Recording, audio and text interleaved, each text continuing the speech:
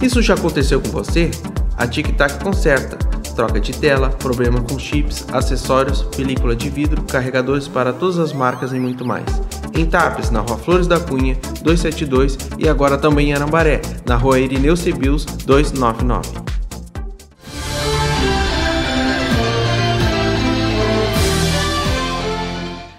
Segundo informações de populares, um grave acidente ocorrido na manhã da quarta-feira, 16 de março, quase acabou em tragédia na ERS 713, estrada que liga Sertão Santana à BR 116. Familiares da vítima, identificado como Jonas Nunes da Silva, afirmaram que ele ficou quase duas horas sobre o asfalto aguardando atendimento. Passageiros de um ônibus desceram do coletivo para colaborar com o atendimento. Eles teriam entrado em contato com o posto de saúde de Sertão Santana, mas tiveram resposta negativa ao atendimento. A vítima só foi atendida cerca de duas horas depois do ocorrido, por uma equipe de Barra do Ribeiro, que conduziu a vítima até o Hospital Regional de Guaíba.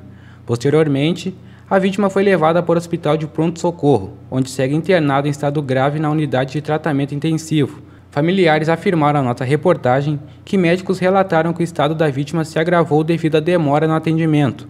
Nossa redação entrou em contato com a Prefeitura de Sertão Santana, que teria negado o atendimento à vítima, mas até o fechamento desta edição não recebemos resposta.